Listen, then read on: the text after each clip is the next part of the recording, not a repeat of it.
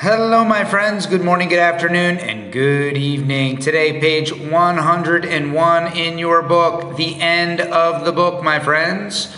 Okay, now I say and you respond Do you eat rice and beans? Are you eating them right now? Will you eat them tomorrow? Did you eat them yesterday?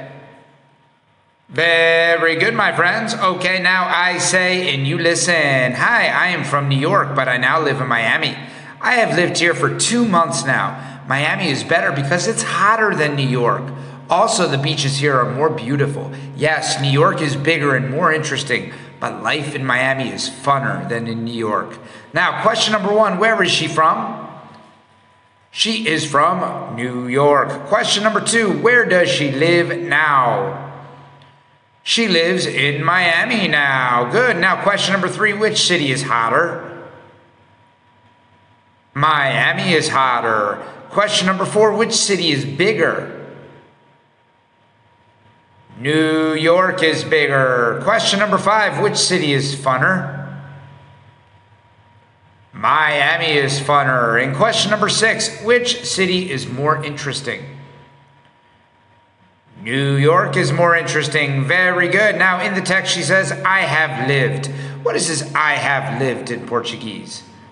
I have lived, eu tenho vivido, or eu tenho morado. All right. Now, what can you see here? Give me 10 things. You have 10 seconds.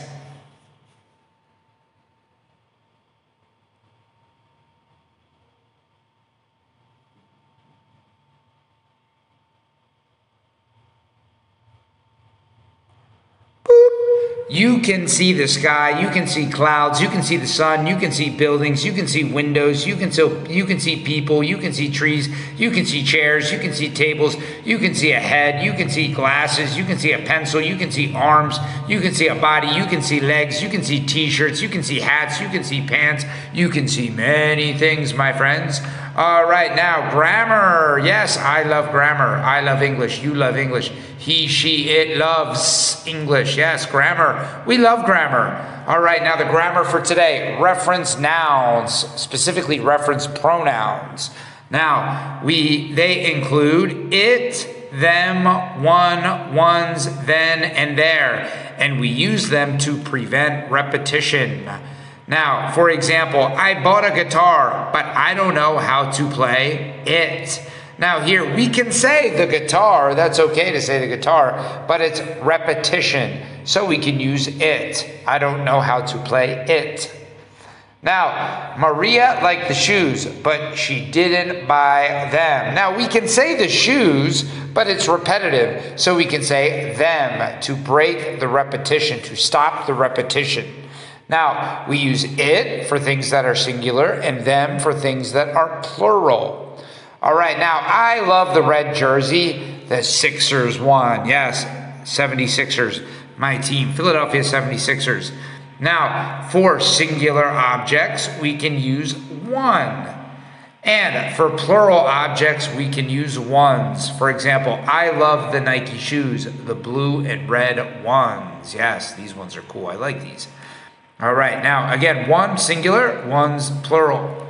Now we'll go to the party at seven. See you there. Now we can say see you at the party, but it's repetitive. So we can say see you there. There we can use for locations. There in Portuguese, it's like lá. And Becky's birthday is on Friday. I need to buy a present before then. Now, we can say Friday, but it's repetitive, so we can use then. Now, then means uh, naquele momento, naquele dia, naquele tempo. Now, then is the pronoun for, for moments. Now, there, remember, is for location, and then is for moments. All right, now invitations. These are invitations. What are invitations in Portuguese? Invitations are convites. All right, now there are formal invitations and informal invitations. Now, remember, formal invitations are would you like to and the verb. Informal invitations are do you want to and the verb. Now, would you like to and the verb in Portuguese, você gostaria. And do you want to in Portuguese? Você quer. All right, now an excuse. For example, the teacher says, Where's your homework? And the student says, My dog ate it. Look, the dog has the homework. Now, this is an excuse. An excuse in Portuguese is a desculpa. All right, now, this is an example of an informal invitation.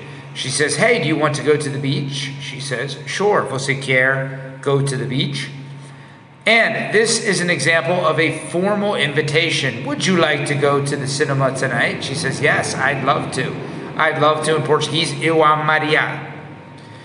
And here is an example of a formal invitation and an excuse. Here he says, Would you like to go out tonight? She says, I'd love to, but I have to work. I have to work is an excuse. I have to work in Portuguese. Tenho que trabalhar. All right, now some vocabulary for today. We have done. Done means finish or completed. Do, did, done. Fazer, fez, feito. For example, he has done his homework already. Ele já tem feito his homework. Glad. Glad is a synonym with happy or satisfied. For example, they're glad, they're happy about their grades. Glad, happy. And anyway, in Portuguese, you say qualquer manera. For example, I'll learn Spanish any way I can. It's true. I love Spanish. Okay, that's it, my friends. Bye bye. Have a good day. Hello, my friends. Good morning, good afternoon, and